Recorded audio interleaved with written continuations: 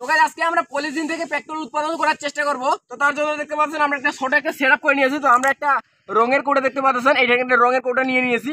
এবং এর যে ঢাকনা আছে, এই ঢাকনাতে আমি একটা লোহার পাইপ লাগিয়ে দিয়েছি এবং পাইপে যাতে লিক না হয় এই জন্য আমি এখানে সিল টেপ লাগিয়ে দিয়েছি, তো আপনারা দেখতে পাচ্ছেন। তো এটা সিম্পলি আমাদের এই সিস্টেমে থাকবে, আর এর ভিতরে কিন্তু আমাদের পলিথিন দিতে হবে, পুরাতন নষ্ট পলিথিন তো এখান থেকে আমাদের যে পলিথিনের বাষ্পটা বের হবে, এই বাষ্পটাকে আমরা দুইটা বোতলে রিজার্ভ করব। তো দেখতে পাচ্ছেন আমি এখানে একটা পাইপের মাধ্যমে সেট করে নিয়েছি, তো এই পাইপটাকে আমরা সিম্পলি এই জায়গায় সুন্দর করে বসে দিব।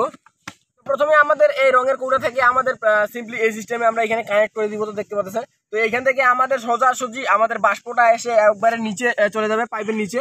এবং এইখানে যে আমরা আরেকটা উপরে পাইপ লাগিয়ে দিয়েছি, এই পাইপের বাষ্পটা এসে আবার এই এই নিচে চলে যাবে, এই বয়মের নিচে।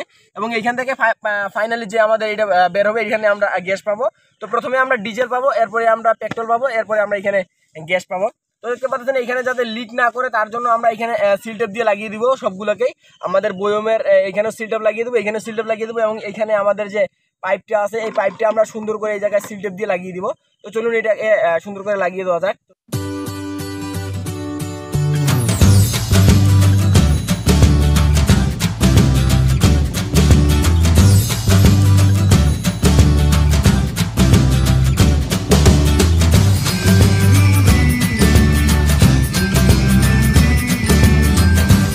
দেখতে পাচ্ছেন আমাদের সেটআপটা কিন্তু এখন পুরোপুরি কমপ্লিট তো আমরা এখন এখানে পলিথিন দিব এবং এইখান থেকে পেট্রোল উৎপাদন করার চেষ্টা করব। তো আপনারা এখানে অবশ্যই এটা সুন্দর করে এটাকে সুন্দর করে আঠা দিয়ে লাগিয়ে দিবেন এমসিল দিয়ে। এমসিল দিয়ে লাগালে এখানে আপনারা লিক করবে না। তো গাইজ এখন আমরা আমাদের গ্রামকে পলিথিন থেকে দূষণ মুক্ত করব। তো এখন আমরা আমাদের গ্রামের সমস্ত পলিথিনকে কুড়াবো। আই মিন এখন আমরা যাব স্বচ্ছ অভিযানে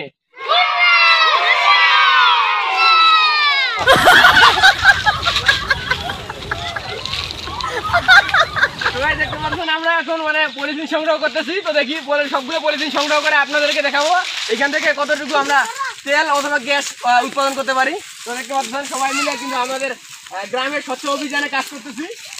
তো স্বচ্ছ অভিযান শেষে আমরা এখন এইখানে আমাদের যে প্লাস্টিকগুলো আছে প্লাস্টিক গুলোকে সুন্দর করে ঢুকিয়ে দিব একটার পর একটা। তো দেখতে পাচ্ছেন আমি সুন্দর করে এখানে ঢুকিয়ে দিচ্ছি।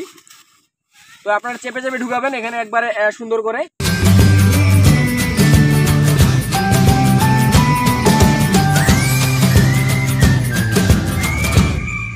দেখতে পাচ্ছেন আমাদের কিন্তু এটা পুরোপুরি ভরে নেওয়া কমপ্লিট তো দেখতে পাচ্ছেন আপনারাও এই সিস্টেমে ভরে নেবেন।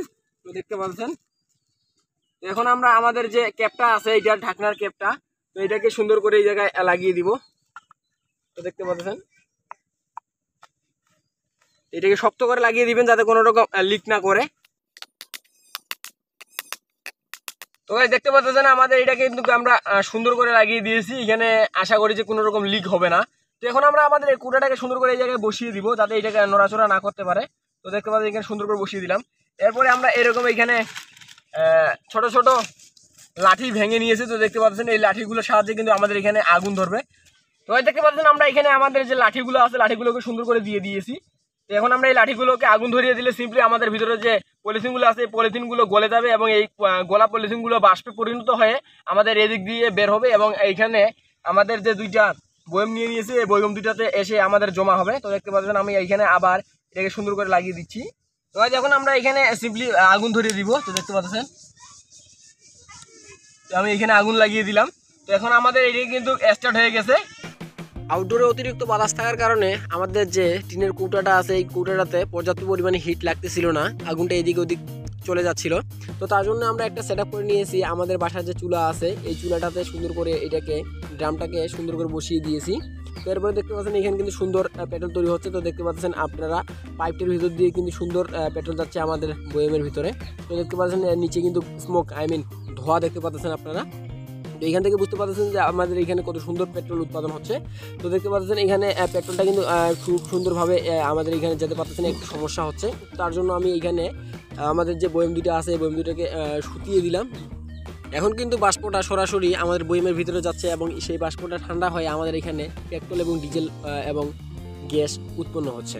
তো দেখতে পাচ্ছেন আমাদের পাইপটাতে অতিরিক্ত হিট হওয়ার কারণে এখানে কিন্তু লিক হয়ে গেছে। তো দেখতে পাচ্ছেন কত পরিমাণে বাষ্প বাইরে বের হচ্ছে। তো এটাতে আমি আগুন লাগিয়ে দিলে বুঝতে পারবেন এটা কত সুন্দর জ্বলে কত সুন্দর ফ্লেমেবল তো দেখতে পাচ্ছেন আমাদের এটা কিন্তু পাইপটি পুড়ে যাওয়ার কারণে এই দুর্ঘটনা ঘটলো নইলে কিন্তু আমরা সমস্ত গ্যাসগুলোকে সংগ্রহ করে পেট্রোল, ডিজেল এবং অকটেন তৈরি করতাম। তো দেখতে পাচ্ছেন এখানে কত পরিমাণে গ্যাস বের হচ্ছে। তো এইখান থেকে আপনাদের বোঝার বাকি নাই যে কত সুন্দর আমাদের এই প্রজেক্টটা ওয়ার্ক করল। তো আপনারা দেখতে পাচ্ছেন যে এখানে আমাদের কয়েক মিনিট জ্বালানোর পর এখানে গ্যাস শেষ। তো এখন আমরা আমাদের বয়েমের ভিতরে কতটুকু তেল উৎপন্ন হয়ে যায় সেটাকে দেখব। তো দেখতে পাচ্ছেন আমার বয়েমের ভিতরে স্মোকে আচ্ছন্ন হয়ে গেছে, পুরো ধোয়ায় ধোয়ায় ধোয়াকার হয়ে গেছে। দেখতে আমি স্মোকগুলোকে বের করে দিয়ে তো এখন আমরা দেখব প্রথমেই যে আমাদের এটা পেট্রোল কিনা। তো তার জন্য আমি একটু মাটিতে ঢেলে নিলাম। তো ঢেলে নেওয়ার পর এখানে যদি আমরা সিম্পলি আগুন লাগিয়ে দিই, তো দেখতে পাচ্ছেন এটা কি আগুন লাগানোর সাথে একটা দপ করে জ্বলে ফেলল। তার মানে আমাদের এখানে বোঝাতে বাকি নাই যে এটা পেট্রোল কিনা। তো এখান থেকে সহজে বোঝা যায় যে এটা পেট্রোল অন্য কোনো তেল হইলে কিন্তু এরকম শুধুমাত্র তেলেই আগুন লাগতো না। পাইপটা পুড়ে যাওয়ার কারণে এখানে কিন্তু আমরা বেশি পরিমাণে তেল উৎপাদন করতে পারি নাই। তারপরে এক মিনিটের মধ্যে আমরা পঞ্চাশ গ্রামের মতো তেল এখানে সংগ্রহ করতে পেরেছি, তো দেখতে পাচ্ছেন।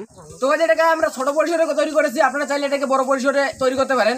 আর এখানে আপনারা শুধু ডিজেল পেট্রোল অক্টেনই নয়, এখানে আপনারা যে ড্রামে অবশিষ্ট অংশগুলো থাকবে, এই অবশিষ্ট অংশগুলোকে প্রিন্টারের কালি হিসেবে ব্যবহার করতে পারবেন।